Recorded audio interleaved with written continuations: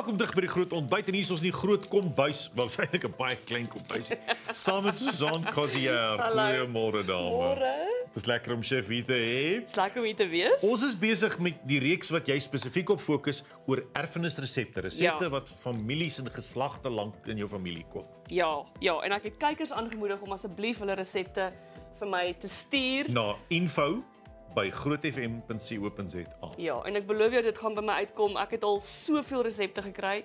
Um, maar ek kort so 'n bietjie soutigheid, soos kook kookresepte. Ek het baie bakresepte Baie gekry. bakresepte, maar soek sout Ja, ek soek bietjie 'n soutresep waar mense soos iets kook. Um ek love bak, maar ek wil graag hê dat ons moet bak kook, bak kook, bak kook. Mm -hmm. Ja. So hou aan stuur fotootjie van 'n geskrewe resep. Ja. Stuur 'n foto van 'n geskrewe resep na info.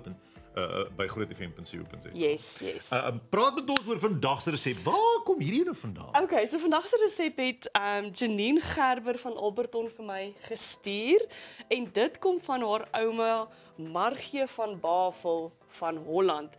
So ouma Margie het in 1937 van Nederland af Suid-Afrika toe getrek. Haar man was toe nog in die Tweede Wêreldoorlog en ja, sy is met kinders en al um Janine se ma was um Duke van Bavel en ja, kinders en al Suid-Afrika toe getrek. Man moet maar oorlog nog voer. Sjoe. En ehm um, hierdie resep het saamgekom. En wat so amazing is is ek dink ek nou al bietjie getel, ek dink die resep is al van 4 geslagte in ouma ehm um, Margie en ma Duke by Janine en dan by haar kinders. Dis en nou lekker. deel ek hom met julle. Wat is die ding? Dis 'n dis 'n O, dis 'n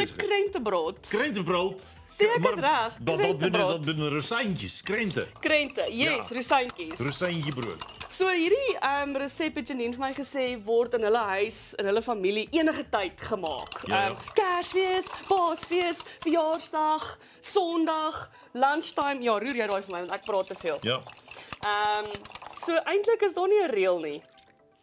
So die resep wat ek ehm um, vir julle gegee het is uh of wat Janine met ons gedeel het, uh, maak twee broodjies. So ek maak 'n enkel resep net omdat ek nie so baie groot familie het met wie ek al die brode gaan deel nie. Ja ja ja ja ja. De braalde. So daar was nou Janine het 'n- Wat is daarin wat jy nou net ingegooi het? Want ek sien net nou gaan uit. in. Ek Jy's altyd haastig. Ja, maar dis omdat ek ek moet stap vir stap weet wat ek aan die kookie. Jy kan nie stap nie, daar gebeur. eiers, melk, lou warm water. Lou warm. En ek um, ek hou daarvan dat ouma Margie, daar's nie met metode nie. Jy moet net alles bymekaar gooi, Gooi maar ek ek gooi die nat, meng die nat bestanddele bymekaar en dan gooi ek die droom bestanddele. So sy sê jy moet kyk mix gebruik of jy kan net rosyntjies of sultanas gebruik, maar die kyk mix wat ek nou gekoop het, het neute in. So Amandeltjies of koetjies, wat is ja, dit? amandels. So Krente.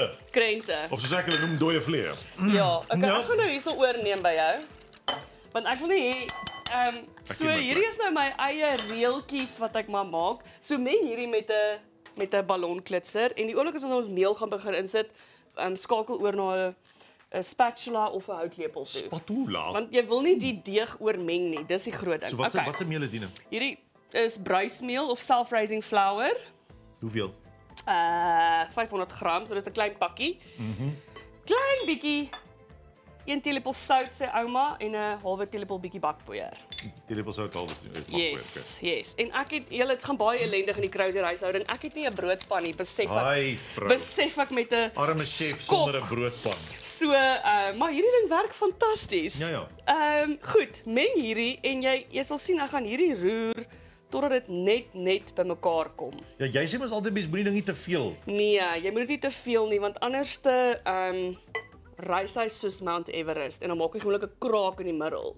So jy wil hê hy moet lê. hy moet mooi lyk. Ja, ja, ja. Ja, ja, ja. So jy ja, jy sal sien ek vou eintlik die deeg. Ek weet nou nie of ouma maar maar Margie gaan gelukkig wees met jou tegniek nie. ehm, ja, ja, ja, Ja, ja. So Janine moet maar vir my sê as ek dit nie reg doen nie.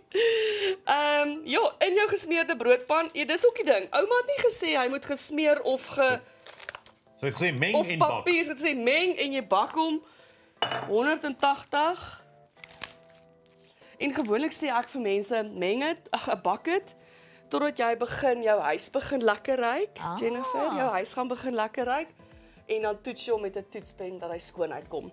En dan sê uh Janine vir my, jy bedien hierdie net saam met botter. Wat Net is so snaaks? Nee, ek dink dubbelsinnigheid wie jy mee besig is, maak dit 'n lekker ryk en dan toets jy met 'n koorspen. Nou hier is nou 'n heerlike Nie 'n koorspen nie. Hier is nou 'n heerlike uh, uh, die broodjies net so, kyk my hoef nie te smeer met 'n bottertjie of 'n dingetjie nie, net bo nie, né? Rou. Ja, maar broer, Nee, nee, as hy gaar is, soos hy gaar is, dan sal jy hom bedien saam Ja, met ek weet maar, jy gaan nie boop hom laat die mooi besigheid mooi plat is nie. Nee, soos wat hy rys gaan hy mooi word. Hoe lank kry hy? Weet jy? Nee, hy gaan nie rys onthou. Hierdie is ehm um, bruismeel, so hy rys dadelik. So ek moet hom nou dadelik in die oond sit. So hy gaan reguit oontoe vir Ja. op 180 vir 'n uh, om plus minus 'n uur. Ek weet nie, ek dink so. Ek het ouma gesê. nou, Ja. so. Ja, uur. 'n Ja, jy's reg, 'n foto uur. sê 'n uur, ja. Ouma sê En- 'n uur. En, dan kom daar so uit. Net so. Hoorie, dit herinner my baie aan 'n paasbolletjie, aan aan aan aan aan Ja, hotcrosspan. ja, dit Wat is die verskil tussen hierdie en 'n paasbolletjie? So 'n hotcrossbun word van 'n gisbrood gemaak. Van Ja. gisdeeg. Ja. Soos brooddeeg. Waar hierdie is wat ons in Engels 'n quick bread noem. So dit is van met bakpoeier. Met bakpoeier. O, so daar's nie self-raising, nee, self-raising het bakpoeier in. Dis eintlik meel met bakpoeier wat jy net saam koop, basically. Okay. Susan, baie dankie. Um, Dis 'n plesier en ja, ek sal weer die resep deel op Instagram en Facebook of as jy 'n groot FM wil mail of WhatsApp, hulle kan ook die resep vir jou aanstuur. Dit? Ek gaan nou hier sit en WhatsAppies moet stuur die hele oggend. Ja, die hele oggend jy's ons my assistent. Ja, ja, ja.